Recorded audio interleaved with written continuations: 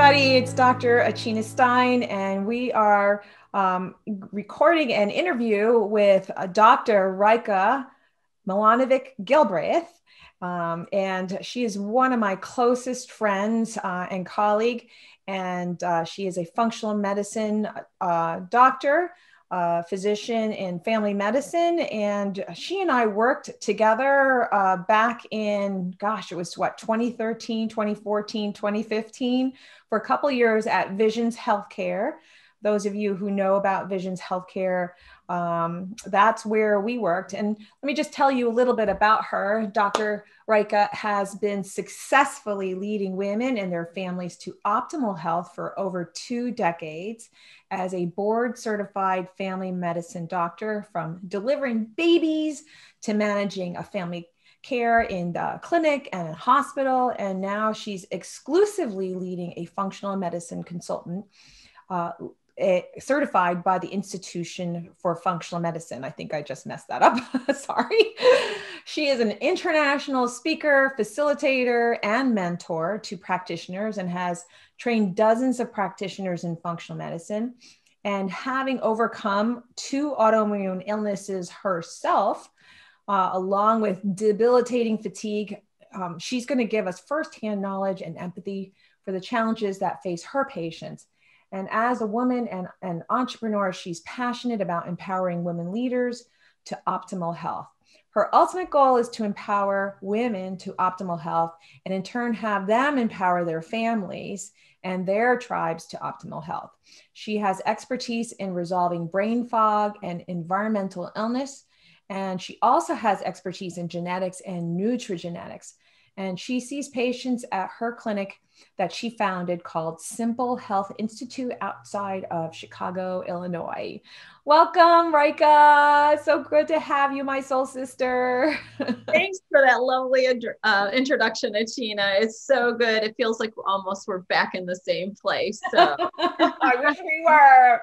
I would love it if we practiced again together. Maybe we will in the future online. You know, that's what we got to put those uh, energy dreams out there. that is the ultimate goal. I, as we, I, we had both said and noticed that we were forced to be reckoned with in helping patients, and that was truly a joy to be able to serve the way we did uh-huh. when we were when we both helped patients together in a collaborative fashion. So. Yeah, yeah. So, why don't you start off just letting us know about? I think it's so important for people to hear about how um, us conventional doctors get into family uh, sorry functional medicine. And you know why don't you start off letting us know how things um, transpired for you uh, and how your journey uh, occurred? Yeah so you know as a little girl i had three dreams. You know i had a dream to be a doctor. I had a dream to one day get married. I had a dream to have children and that were those were in that order probably or somewhat in that order and unfortunately, um, a lot of my symptoms led to me uh, almost not being able to achieve any of them. And it was pretty gut wrenching and heartbreaking. And I'll never forget during the, towards the end of my residency, you know, here I am six or eight weeks from finishing. So mm-hmm. after, you know, four years of medical school and th- almost three years of residency, I was just couldn't take it anymore. I was so tired, but um, I had already run my labs a million times and I had the stereotypical pattern of what was hypothyroidism, but the conventional doctors would call that normal.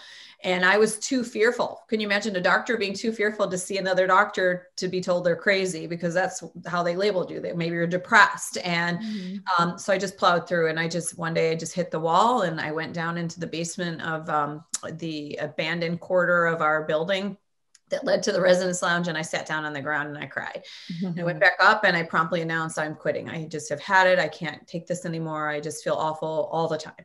And that residency director was quite compassionate. He just, you know, encouraged me and gave me the cheerleading I needed. And somehow I plowed through. And, you know, and this segued into, so I achieved that first goal, becoming a doctor, but even then to get married, if you can imagine, I was like falling asleep left and right, even on dates. So, and I had people like, so I know, can you imagine how many people asked me out on a second date? Um, a rock concert once. So I'm from Cleveland and it was the inaugural Rock and Roll Hall of Fame concert. I fell asleep in the middle of a concert. So that's how bad the energy was and after residency, it took me about three months to even feel somewhat normal of just constant sleep. And so um, so I did manage to stay awake on uh, more than one date with the same man, and we and at the altar we got married. But so then we went on to have kids, and it was kind of that's where the journey started. And and, and then here I was in practice trying to have children, and I would see the same pattern: someone come in with fatigue, and I didn't have the answers. So much so that I was I heard a patient say, "That doctor just doesn't know what's wrong with me," and I was like. Oh, you know, like it's not that I don't know, and but it was true. I didn't know. And I would prep them. I would prep them. 99% of the time your labs are an exam are normal. You have to start thinking this is depression. Mm. And so I wouldn't offer. A lot of times people are offered an antidepressant when they came back and their labs were normal. I would never offer that if they tr- in their heart of hearts I had great relationships with my patients if they said they weren't depressed. So I said something's missing here and something was missing. And I finally found a doctor who had a little bit of integrative training. And he says, You've been hypothyroid for 10 years. Mm-hmm. And it was night and day when I was put on thyroid meds. And so I wish I would have then like uncovered what else was underlying because there were so many things. And then we went on to get pregnant. It was the same thing. We couldn't get pregnant. We were told it was unexplained. So here I have unexplained fatigue to unexplained infertility. And here's me delivering babies and I just had to like have a big grin on my face. And I genuinely felt happy for all these women. But one day in my clinic, this woman came in and she was pregnant for the eighth time. And I should have been happy. And I couldn't be. I couldn't be happy because six of her seven existing children were taken away because she had a cocaine problem. Oh my God. And, and I, I, and then I thought something, and I said, if there is a higher being. If there is a god like what god would do this? And i just i was just so i took i took the bulls um, by the horns and i found a natural means online to how to improve my health. And lo and behold after multiple failed um, treatments we ended up getting pregnant and mm. not once but twice. And we had the same scenario. I had to fail all this treatment and then say all right remember what you did the first time but it wasn't entrenched in me. Um, and then in my uh, 40s, I so every decade it felt like I got worse and worse and worse. So I'd recover and then get worse and recover. Um, I started not recovering from jet lag, and we were living abroad, so it went from three or four days, maybe a week, to two, then to three, then to four weeks. Four weeks of not being able to recover from jet lag. That's that's significant. If it happens to you, it's not normal. And I just happened to have already have found functional medicine, and I was at this booth and the representative was representing glutathione, which is our body's major antioxidant. He right. said, and I said, he goes, Hey, you must be excited to get back to your family. I said, I am, but I'm not looking forward to the fatigue that'll set in. And he says, Here, go down to the Whole Foods, get some melatonin, and take this glutathione. So I did. And sure enough, in like three to four days, my jet lag was gone none of the debilitating non-functional symptoms. And i was amazed but i didn't know enough. And it wasn't until later and actually then i went off of it. So here i am in functional medicine and i go off of it thinking oh i feel better now and didn't know my genetics and my personal the way i metabolize things. And it turned out i was deficient in missing two full genes that are responsible for the manufacture of glutathione. So i don't have any copies. I remember that. I remember that. Yeah and I, I, didn't even find that out until after um, I developed severe muscle pain and fatigue and abdominal pain. And I was going into liver failure and they didn't know why. And they thought because I had one autoimmune disease, it was autoimmune hepatitis and my enzymes were more than 10 times normal. And I thought, we were on a celebratory trip and I was with my kids. No one really knew what was going on. And they were really young and they're jumping into the pool and they're like, you know, they were what? They were four and eight. And they're like, watch me, mama, watch me. I'm like, so this is how it ends. I'm going to leave you. You know, I've worked all my life to be a doctor. I finally did that. I got married. I had these two beautiful kids. And now I found a field that I really want to train in and I'm going to die. Mm-hmm. Or the the alternative was is that if you're not on steroids, um, the mortality rate from autoimmune hepatitis is 50% in five years. Wow. And so I saw the uh, GI doctor, and we did go through the motions. Um, I had actually at the same time, by the luck, by some luck, I was kind of mildly training with someone online as I waited to get back to the United States to undertake my first job with you in functional medicine. And he took me through a traditional protocol, and I did everything he said and it was and all my numbers were normal by the time i landed in the us like six weeks later near normal. And they still wanted to biopsy me and i never got that diagnosis and never ended up on steroids. And that was um, eight years ago. So right. clearly i was able to overcome that. And i had the markers for it. So i had the autoimmune markers for it but reverse the whole process. So um, and then finding that out the genetics says you know this for me it's not for everyone. Not everyone needs to be on glutathione but for me i need at least a dose a day and and to ju- just prevent that relapse. So that was how that that was what said all right there's a better way. And if i can heal myself i want to prevent this right? Yeah. prevent this in every person. And one one just so our listeners know if you've done the organic acid test through great plains lab which is a, it, which is one of the tests that i use for a lot of my patients and i know you do too that glutathione level is actually on the test it's on the last page so if if you have that and you know if you want to see what your glutathione level was at the time of the test you can uh, look that up on on the great plains lab organic acid test yeah. yeah. So yeah, you've been through a lot, and I know you've really done a huge deep dive into uh, genetics with your patients and nutrigenomics.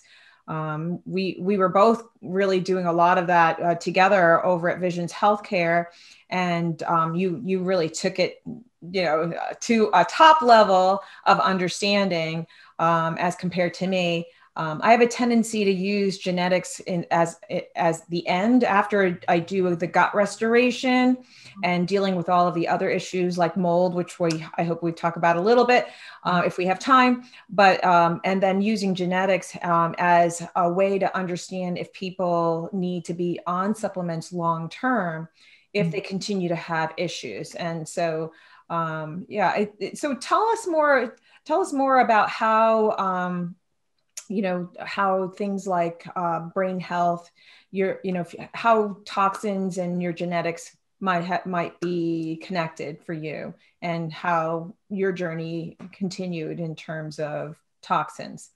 Yeah so you know it was really going down that rabbit hole is like you said that traditional functional medicine approach got about 80% of our patients better and then 20% of the original 20% or original percentage that couldn't get better in conventional medicine just wasn't responding. And so that's what gave me the next layer. And it was like training and learning multiple protocols and then really finding my own method, like the Simply Health method and applying that. And I call it the three, uh, the D cube method. So three Ds, and I'll go through that. But um, so, you know, we look at as it relates to brain health and even in depression, some environmental toxins are real standouts. And so simple things like pollution are directly linked to an increased risk of developing what we call major depressive disorder. And what the studies have found is that just a small rise in pollution can increase your risk of depression by 43% just by living in a polluted city. And you know, as you know, in major cities, the uh, pollutant levels will go up and down. And so it just means that if you live in LA, for a healthy person, your risk of major depression is increased by uh, greater than or equal to 86%. So that's like, if that isn't startling, then nothing, you know, that really should be. And, and all of these things, I don't know that we have a gene for that, but I think the way to explain the genetics is that we never look at just the genetics. We try to modify and give everyone a healthy lifestyle so we can actually turn off defective genes.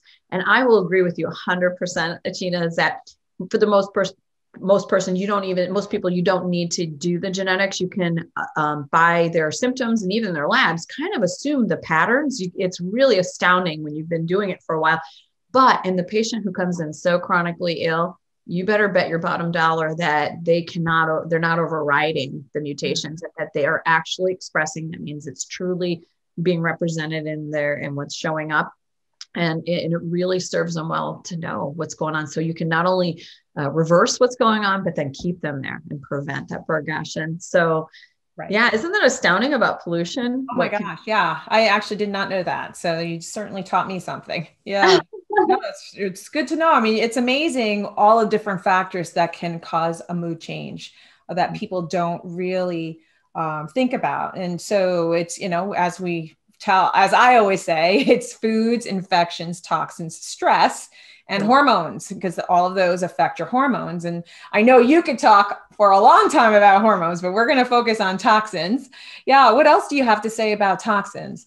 Yeah. So um, the then the second uh, area that can be problematic and linked to depression is exposure to pesticides and insecticides, so our organophosphates. And ironically, there is a test that can measure that. And you know, I had a family that was eating largely organic, but uh, the adults were, and then the children were getting other things in, and sky high levels in a young girl who had mental health symptoms and just pointing out these things like hey there is a way to give you a support supplementally to release the um, the uh, pesticides out of the body but you are one that really needs to be eating all organic because it will affect the health. So uh, just to know that so why the importance of organic is that some of us are predisposed and cannot break down those pesticides and i'll talk about that gene in a moment but and um, and so if that's you it's been directly linked uh, so just having um, the exposure is linked to major depression. Mm-hmm. Uh, now, on the gene side, there is a gene. It's called PON1, P O N 1. Not that I want to make everyone a geneticist on here, but yeah. if you have a mutation in that gene that doesn't allow you to break down um, pesticides as readily, and that one increases your risk for not only depression, but um, bipolar disorder mm-hmm. um, by several fold. And so it's important to know. So then those people really want to be monitored. And you know, I had a case of a woman who had um, acute rheumatoid arthritis, and she came to me for a genetics consultation. That was what she was scheduled for. And ironically, in between the time she booked and the time she saw me, it was only like four short weeks, she developed acute rheumatoid arthritis. And that was one of her genetic mutations. So, what I did was I use your approach that we all do, took her through the right order of re, you know, kind of getting her back into balance and I lost her to follow up. I thought this woman didn't get better or something. And I saw her 18 months later and I said, Well, what happened? And she said, Oh, I feel like I never had rheumatoid arthritis. And here I'm floored because I don't hear from her. And she was then back for that genetics consultation because she was infertility and, and was really concerned with her MTHFR mutation, which can lead to increased miscarriages. And I thought to myself, wow, that's amazing. And, and then retrospectively, so it means after the fact, I reviewed her genetics, and sure enough, she had two gene mutations of PON1. So for her, it's really important she eat organic. And if she can't, is to provide her the support. So there are supplemental supports that you can give uh, to allow them to clear that easier. So right. right. And uh, unfortunately, the, those supplements supports probably should be taken lifelong, right? because yeah. we're, not, we're, we're not going to be able to change the environment that we live in I guess unless you move to the Antarctic or something, you know, to a much clear, cleaner environment. And those cleaner environments are far and few between nowadays. So, so but certainly out of the cities, right? out of the cities. And just yeah. to speak to that, you're right. You can't always avoid it. So we do our best, you know, buying organic, buying clean products. And then if you're in a big city, you know, the simple tips are when the air pollution's high outside, don't go outside. Have an air filter for your home and they even make air filters for your car. So if you find yourself right now everyone's working from home mostly right, right. but if you're you're in that environment i've thought about this for my husband who travels more than an hour to and from work each day is to get him they have individualized car filters. Um, you know there's a company called iq air. There's many of them. That's one of the several that i really like uh, that makes a small uh, Atem and it just hangs off the back of your seat and filters the air while you're driving. So that's a simple fix, but um, an easy, a cheap one, obviously, is just not to go outside when the air pollution is high and definitely don't be jogging outside when right. it's hot. So and there's apps you can download to know what the uh, the quality of the air is in your town. By the way, so yeah. um, it's important to know that. I don't think it's so bad where I live. I'm not so sure where you, you know, if, if I, I know you're close to Chicago, but you're definitely in the suburbs. But yeah. you know, there are apps that you can download um, that can provide you that information, and not just uh, pollution, but also um, environmental, like uh, allergens. You know mm-hmm. what the mold counts are, what they, um, uh, you know, for hay fever and things like that, uh, seasonal, different seasons, uh, uh, amounts, you know, uh, in the air from the different seasons. so, um, yeah, so then you talked a little bit about glyphosate, and um, there's testing that you can do to see what your levels are. What test do you use, and what, or is there any testing that you typically use for all your patients in terms of environmental toxins? So the generally well or modestly unwell, you know, I'm just taking them through the protocol and we follow symptoms. Anyone who's moderate to severe, it's like there's a right time and place. So if someone comes in and they've got they're they've got complete full blown dementia, they get the million dollar workup. And the company I use is Great Plains Lab, who's also running the OAT test that you had referenced. And they do a GPL tox, and that's just all the environmental toxins and not too terribly expensive, I think a couple hundred bucks. And then the, they do a glyphosate test, which is $99, so pretty inexpensive. And it was really interesting in our family is that we eat all organics. Our kids had really low levels. And my husband and I were approaching the 75th percentile for it and it's considered uh, significant if it's 95th percentile or higher. Mm-hmm. And we are all organic, but the other thing you don't realize is it's ubiquitous. It's in the air, so it's found in rainwater.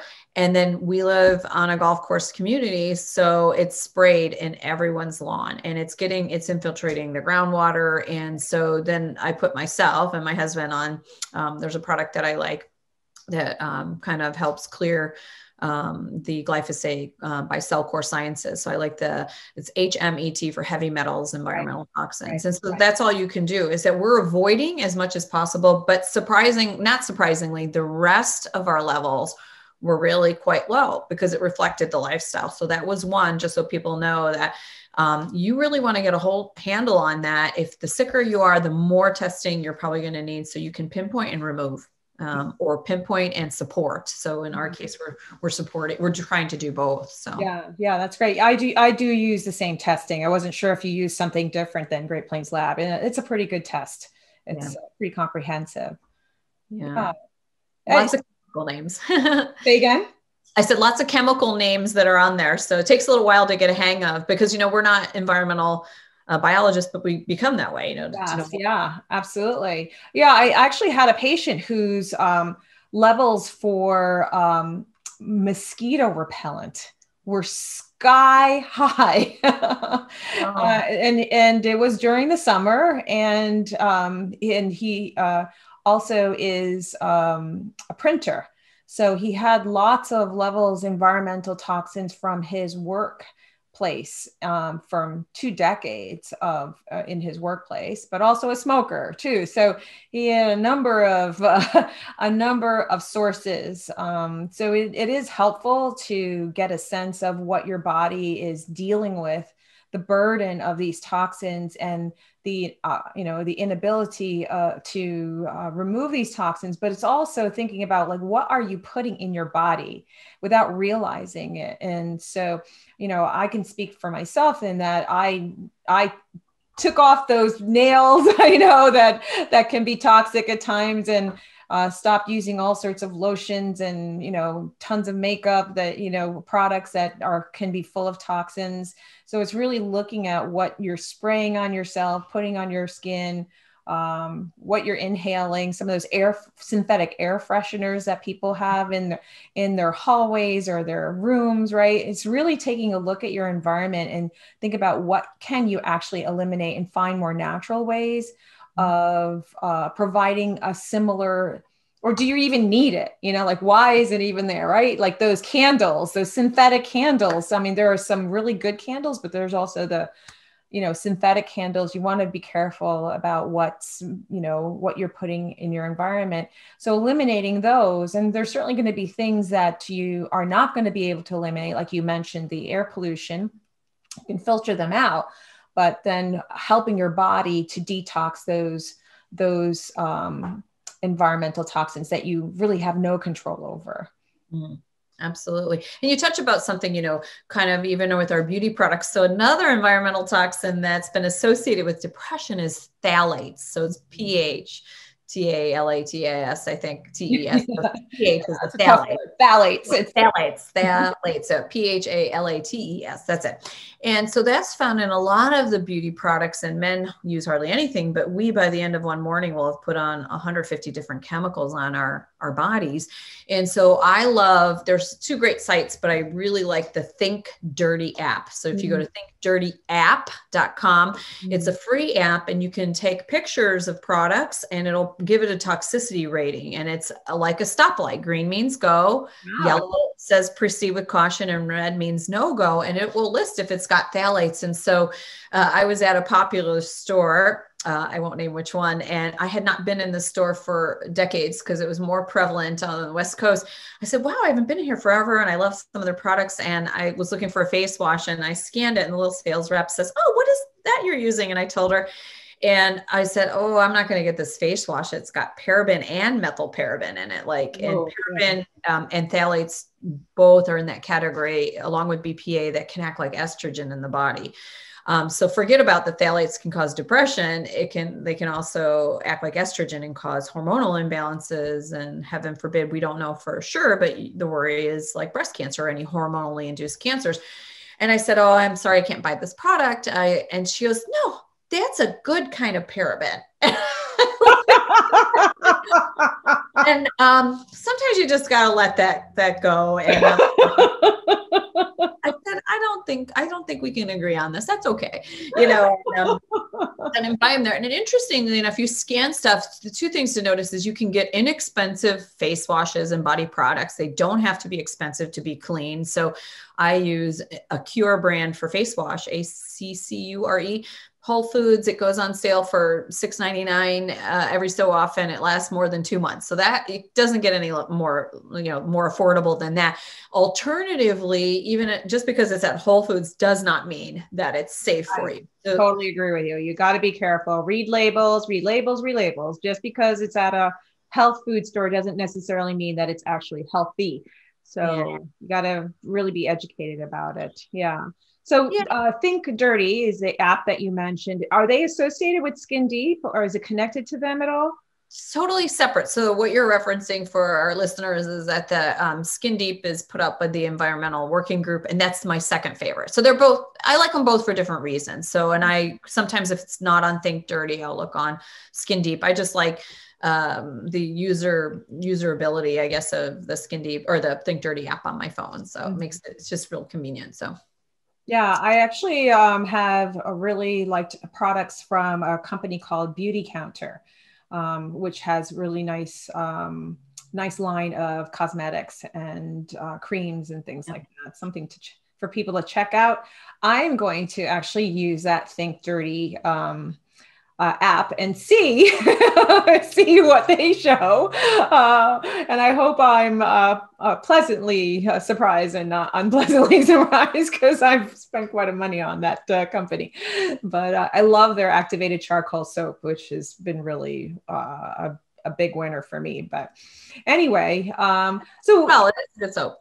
What was that? we have that soap as well. It's great. Yes. yeah yeah so yeah, so we have about 15 more minutes. So we we have more ground to cover if you're willing. You know, I know there's other toxins that you have uh, wanted to talk about. What's next? What's next is um, one that is not recognized by many. So I wanted to highlight it here is that believe it or not, mold uh, mold can produce toxins, and we're talking the black mold, which doesn't have to be visible and doesn't even have to have an odor to cause a problem. So, about uh, up to 30% of the population has a genetic susceptibility to mold illness, what we call mycotoxin illness.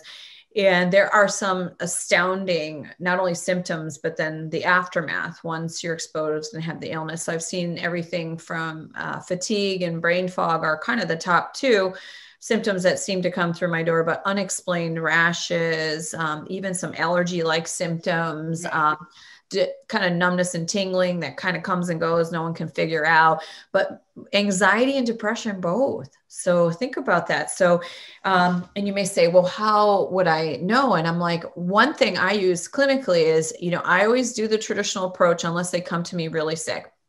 If someone is not responding like they should be that should be your tip off that you need to dig deeper. And so I I don't give them very long. You know, in six weeks, I know how they're responding. So clearly, if someone's made no changes, we know that. So they're not going to get a, they're not going to be any different. But if they really have done uh, even partial changes, I get, I see significant results 30, 40, 50% improvement in symptoms in four to six weeks, even with a little bit of buy in, a little bit of change being made. And the more they do, sometimes you get them 80, 90% better in, in a couple visits. But when they don't, so, so you have to first suspect it. And the way you suspect it is do they have these classic symptoms? Fatigue right. brain fog um, actually hormonal imbalances. Right. So thyroid problems where a patient really wants to get better and not end up on medications and mm-hmm. I just can't get them up or low hormones when you don't suspect it like in someone who's 20s or 30s that because it suppress all your hormone function maybe even insomnia so because the mold um, the mycotoxin itself suppresses our ability to make melatonin and so those should be tip offs so first you mm-hmm. suspect it yeah, and another one that you may not, I, I don't know if this is your experience, people who have difficulty losing weight, like they've tried everything and really, really tried everything and not losing the weight. Um, Absolutely. And so I have a whole program for that that works even if you have mold, because, you know, um, unfortunately, when you have that resistant weight loss, it leads to all other problems. So blood sugar dysregulation and pre-diabetes diabetes and it just compounds that fatigue as well and so that's right and i i think my greatest would be brain fog fatigue weight weight loss resistance hormonal and mental health so those five are the big ones that i see when it comes to mold illness right right. Yeah. And so yeah. then uh, go ahead. You were going no go ahead. I want to hear it. So besides mold there's other things that are related to mold like candida and sometimes they are seen together. And we talked a little bit before the before we started recording about how candida and copper are kind of connected too. So uh, sometimes copper high candida, high copper, and high oxalates are like this triad mm-hmm. of problems that you know, that can also cause the body to hold stay uh, and hold on to these things together. Um, they actually are almost like a group of three or four things that keep the body from uh, unloading that burden because you sort of have to hun- unhinge each of those together yeah, you bring up a really good point too. So when you have that triad, so here's what I see clinically, and then I think I want the viewers to, you know, certainly some people that'll be listening have never heard of mycotoxin illness, but if they have symptoms that aren't getting better, it will at least get them to explore. And um, before I dive into the explanation on how to treat and what we're looking at, because there is a right order, is that I, I still think uh, the best test is doing a urine test to look for the mycotoxins. I don't believe any of the blood markers are valid, and they there's a vision test that can be abnormal. Uh, that is a marker for biotoxin. They use the vision test. It's a visual contrast sensitivity test. They used it in the military that were exposed to biological warfare to track their exposure and how sick they were getting. But getting on to like, how do you unpackage this? So if someone has mold, um, two things happen. It can colonize the gastrointestinal tract with just mold or fungal elements or candida or both. Mm-hmm. And then it also tends to colonize the nasal passageways. Right. And you really need to prime someone's system. So if they're particularly sensitive, you've got to quiet down the inflammation before you even bind the mold, or you'll make them very sick. And I see many patients come through my door that that's happened. And then you bind the mold, and then only then do you go in for the gastrointestinal overgrowth. And you can mm-hmm. tell usually tell which one they have by the OAT test. Do they have candida or mold or do they have both? So um, and then you go after that and you're like you if you don't treat it along with the mold you're not going to clear the mold. So the minute you stop binding it and you got candida in their belly that and the fungal elements in their belly uh, those, as you know, the organisms can harbor not only mold, but then heavy metals. And then you're in a world of hurt. It just causes it all to come come back. So, um, and then as you know, candida causes oxalates, right. which is a byproduct. And some people, and it's so inflammatory. I don't know if about you, but it makes people either hyper or it anxious. induces anxious. Yeah. Yeah. And then a word on the copper. So then you got the the mold, you got the candida, and then copper in and of itself, you can get it. Some people will have genetic variations how they clear it and how much is free floating in the body. And it's the free floating copper in our bodies that is the problem. And if it's not genetic, then you have to kind of look to the environment. Is it, are you in a swimming pool all day? Because they use copper is found in a lot of the chlorinated products. Mm-hmm. Are you drinking out of copper mugs or frying out of copper pans? So I had one woman, she was fine. And I screen people, every person who comes through my doors, I'm screening regardless of the symptoms. Um, so I know where where they stand because it's huge. And if you have anxiety, and copper is your main issue, you can get resolution of symptoms in 10 to 14 days, mm-hmm. like that quick. Can you imagine you've had anxiety all your life and someone fixes you in, in less than two weeks? Right. So it's huge. And I'm sure you've seen that too. So, yeah. Yeah. And so um, then not only the cups and the pans, but copper water pipes in our home. Right. So, so not everyone's going to have an issue, but you know it may be it may be compounding everything that's going on so my word of the caution is you find a practitioner who knows all of these areas and can do it in the right manner so that you're not made worse um, by, with your symptoms. Right, right. Yeah, I just want to mention Dr. Rajka was trained um, at the Walsh Institute with me. We did that uh, training together. And so we are very familiar with uh, zinc copper balance and ceruloplasmin, which is what binds to copper and keeps the copper out of the serum in a free form, as she talked about. So it's important to get those uh, three lab results when when we're evaluating something like that. So yeah, yeah. so we have uh, about uh, five more minutes before I'm going to um, open it up to questions. Um, is there anything else that you wanted to add that you think can like put a little bow around this package of all this information about toxins that you've given us so far? um, you know, really, it's if you're fairly well, I'm, I'm, I'm, assuming anyone that's listening probably is looking for answers. So, so if you're you have moderate to severe symptoms, is to first avoid and then detect what's there, and then uh, find a practitioner will appropriately support the process. So if you need something to help you gently detox or you need glutathione, like I did, mm-hmm. um, so that you don't, you know, it's a huge thing. And I always tell people it's, you can have a small bucket, a medium bucket, or a large bucket. The large bucket people are like Uncle Henry, who smoked uh, 60 years of his life and he dies peacefully in his sleep when he's 95 years old or something. And so that's the rarity. Then you have most of us are in the middle, and I definitely was not middle. So I had a smaller bucket. Mm-hmm. And I, now that I know what I know, I say, boy, it's a wonder I didn't develop um, cancer before mm-hmm. now. And so I, am grateful for everything I know and want to share with um, listeners. Um, on the William Walsh, so ironically, just a neat tidbit, I'll share two more facts, is he's here in Naperville. Mm-hmm. And so since then, I've developed a lovely relationship with him and, and serve on his advisory board. And he is 85 plus years old, as you know, and still going strong. Oh my God, he's so smart. Yeah. And, you know, completely has his mind for sure. Yeah.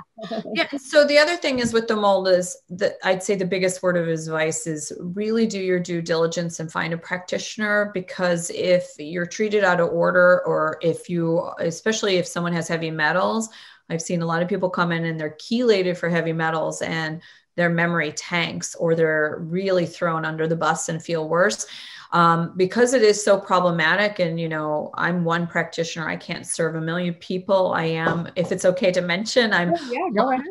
i'm launching a very low cost um, community called Conquering Mold that will be a great first starting point. So kind of be a um, with uh, weekly Q and A's with me, and I'll bring in monthly speakers. And I'm going to be holding two mini courses on, you know, I've got mold. Where do I go from here? Because if you don't have the foundation in place, and sometimes we'll have patients work on foundational items before we even see them, and. Right. And, and to the point, and I, I will have as a caveat, we said this to a woman, and she actually message back and said, Are you out of your mind? I can't possibly do this, or I've done the training and I, it was working on the limbic system. And, uh, and she goes, and then we got a, a message uh, just now. So not even four weeks later, she's like, I am so much better. I don't need to see you. And, and I'm glad she's better, but mold, unfortunately, you cannot excrete on your own. Now, certainly there are people who will have mycotoxins, eh, you know, in their urine, but they, if they're not susceptible, it's not affecting them. Right. And it's for the people who already have symptoms and are sick. And you can actually measure that. So I'd say just caution to the wind is uh, gather the information, find the best fit for yourself. Um, and then have it remediated or, or, treated before it becomes an illness and it's too late. And there is uh, too late. Right, right. Yeah, yeah. I mean, it's there's uh, quite a few patients that I see that have mold and have been treating mold, having them do the VCS testing, uh, that's the visual contrast screening, and uh, the mycotoxin testing and environmental toxin testing, and and you know having them uh, treated for mold, even doing the nasal swabs with some patients and getting MARCoNS positives and you know really doing a whole workup for some people. And then there's others that i have to you know refer out because it's it is to the extent that um, they need to see someone more like you who's like really seeing a lot of patients with mold and is, is a major part of their practice. So yeah so i'm you might be having some people coming over your way. Glad to help them glad to help them always. Yeah. So I, you know, th- I want to thank you so much uh, for providing us with so much information about how uh, people can develop brain uh, issues and particularly depression um, from environmental toxins and, and how the genetics plays a part um, in that as well. So I am going to um, uh, really say uh, thank you for being my friend, and I'm so glad to have you on my podcast. And uh, I look forward to seeing you in person soon. Well, likewise, it, you know, my deepest gratitude to be able to share this information and um, pack a punch, you know, so that people who are listening, hopefully they'll, it'll be eye opening and they can take the right steps to fully get better. Wow, great. Thanks.